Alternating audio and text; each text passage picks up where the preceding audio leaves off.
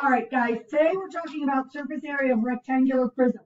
You should have on your desk homework, notes, paper, and formula sheet. Today in class, and if you do not finish it for homework, you need to do page 11 and 12 and the vocab worksheet. Now, I'm going to say something about this vocab worksheet. The vocab worksheet has columns that you need to fill in. The answers are going to fit perfectly. So there are 18 choices at the top. They will go exactly six in perimeter, six in area, and six in volume. So if it doesn't work out that way, something is wrong. You are going to have a solids quiz on Tuesday. Now, I am going to hit pause. I want you to do these problems. All right, so now you guys have had time to work this out. Let's take a look at this to make sure everybody understands. Vertical slice, top to bottom. When I draw my slice, it is going to be a rectangle.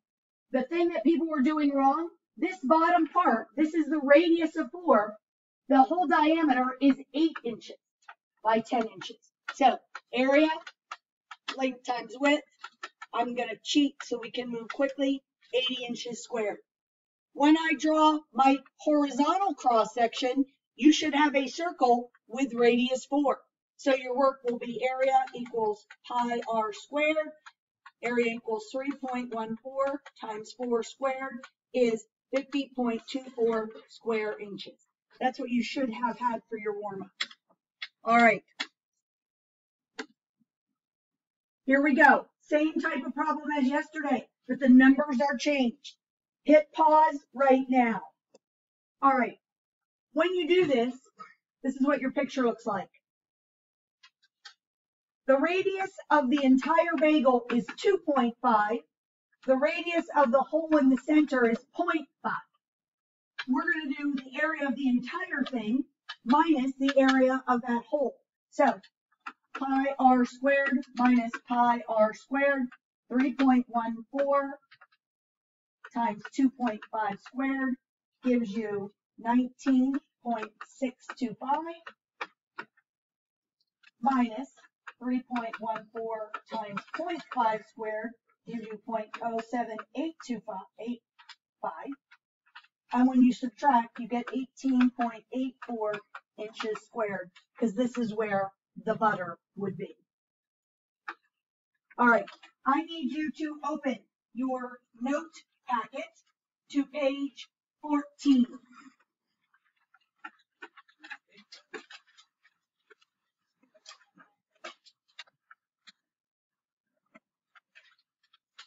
Now, yesterday we talked about volume of a prism. Volume is the capacity. I'm going to write, I want you to write this down. Volume is capacity. What a solid holds.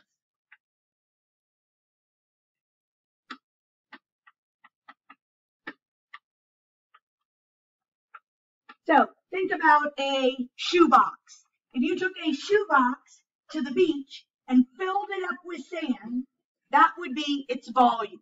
Yesterday we did that formula, volume equals length times width times height. Do not forget when you do volume that your label is going to be cubic. Today we are talking about surface area. Surface area of a solid is basically the net. It's the net that covers the solid. Now, this is the formula for surface area of a rectangular prism. Let's take a look at this. Basically, surface area is all the sides of the solid added up together, or all the faces and bases. Look, two length width. Isn't length and width this bottom and this top rectangles? There's two of them. Two length height. Length and height would be the front and the back. There's two of them. And width and height would be these two faces or faces, whichever way you turn it. There are two of them. So a rectangular prism is made up of two, four, six rectangles. And that's what that formula is. Now, surface area is the sum of all of the surfaces or faces, bases of a three-dimensional figure. You should be filling that in. All right, we are going to take a look at three examples. Units are always in inches square, written like that, because it's the same as area. Now, I'm going to skip example one.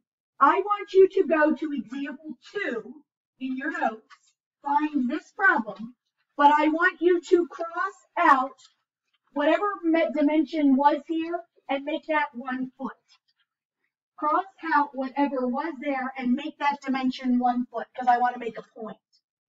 So, first thing you notice in this problem is that I've got inches, inches, and feet.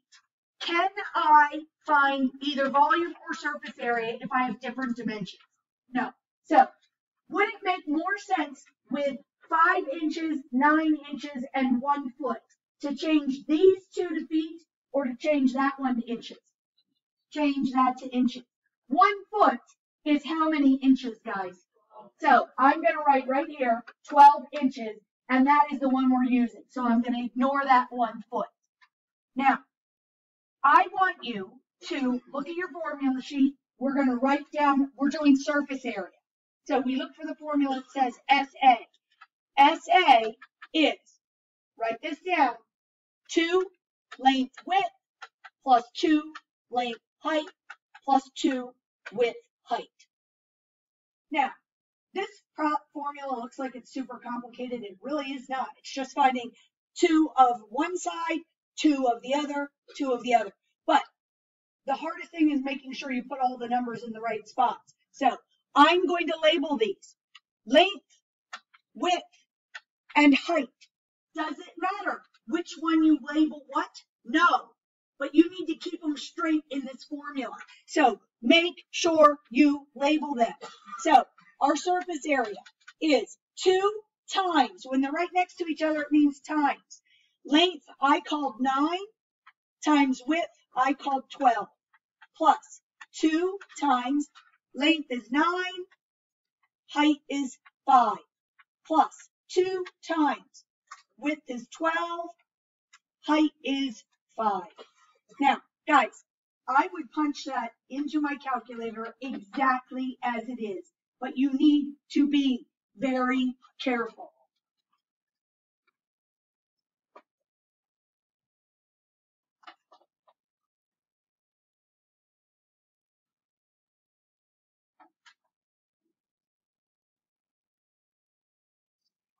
You should get surface area is 426 square inches. Two times 12 times five, because width is 12, height is five. No, volume is cubed, surface area is squared. Surface area is nothing more than all the areas of the faces and bases added together. It is still area. It is just more than one shape. All right. Here we go. Example three. Domingo built a toy box that is 60 inches long, 24 inches wide, and 36 inches high. He has one quart of paint that covers about 87, look at this, square feet of surface. Does he have enough to paint the toy box? Justify your answer? Well, first thing you need to say to yourself is this. If you've got a toy box and you're painting the outside, what are you looking for? The what of the toy box? The surface area, right? So I'm going to write my surface area formula down, and it's a rectangular prism. So 2 length width plus 2 length height plus 2 width height. Guys, make sure you are doing formula, work, answer, label. Now, does anybody notice that the paint covers 87 square feet?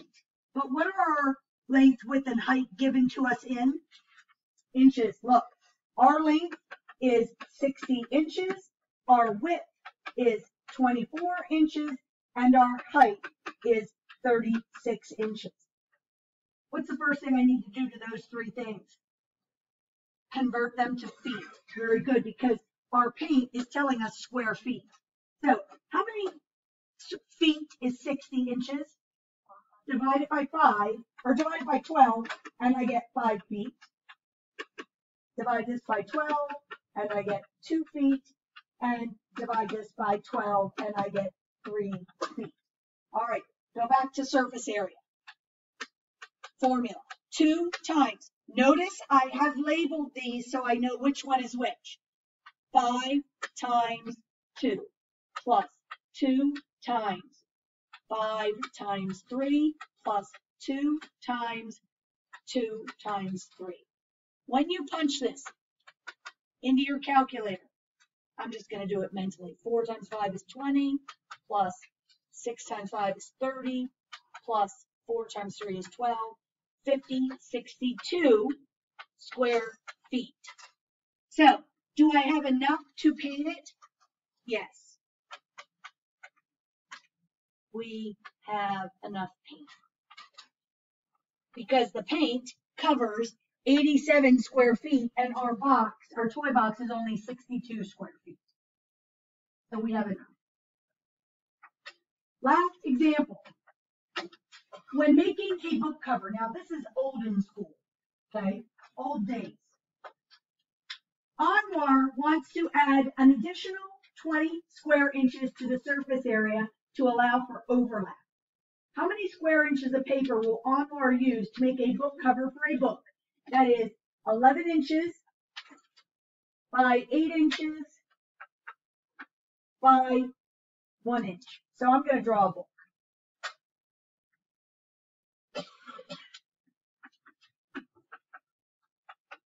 Okay, a book isn't a book a rectangular prism, a, a fat book. So I'm going to call this length, width, height. It does not matter which one you call what, but as long as you put them in the formula the correct way. So surface area, 2 length width plus 2 length height plus 2 width height. So let's see what I did here. 2 times 8 times 11 plus 2 times 8 times 1 plus 2 times 11 times 1. Make sure you use the right combination because if you don't, your formula is going to be off. So our surface area is going to be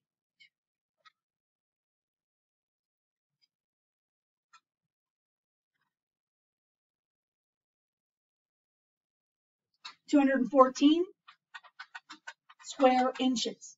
But what does it say?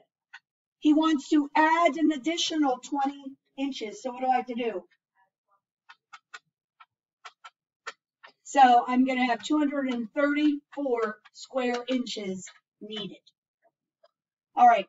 Now, what I want you to do right now is you are going to work on page 11 and 12 in your homework packet. You are going to check that in Google. When you are done, you are going to do that worksheet. And the columns should all be filled up.